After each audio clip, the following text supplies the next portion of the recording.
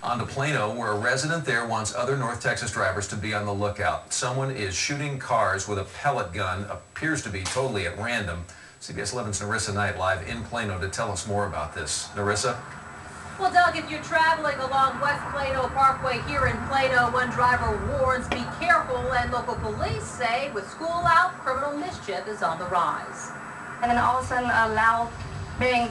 A driver who will call Mary Hall, who says she's scared and doesn't want to be identified, was startled when she was driving down Plano Parkway on Friday and says out of nowhere, Just like something hit my car. when Mary saw what appeared to be a pellet shot to the side of her new SUV, she says she went inside the office of Oaks of Collin Creek Apartment Management. And, and she also told me that businesses across the street have complained about kids. I don't know what they were doing, going Yeah, you walks might be and mad playing whatever. Um, at cars passing by. When we went to management, they said they had no such complaints. I know that. No, we haven't. And usually they would tell us.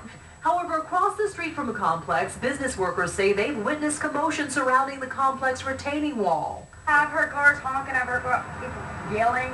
I see little heads poking out from over there on, sometimes over there above the bricks. And while Mary filed a police report, Plano police say, criminal mischief, vandalism, it always picks up during the summertime. online, one apartment feedback website has 91 blogged various complaints about the complex. While Mary sprayed black paint on the hole, It's a pretty deep hole. her hope is that the next time she passes down Plano Parkway, she and other drivers are safe. We drive um, down Plano Parkway all the time. Obviously, the, the uh, parents over there aren't watching their kids. If the public is a victim of an offense such as that, definitely need, we need to know about it. Call us, but Now, police don't know who shot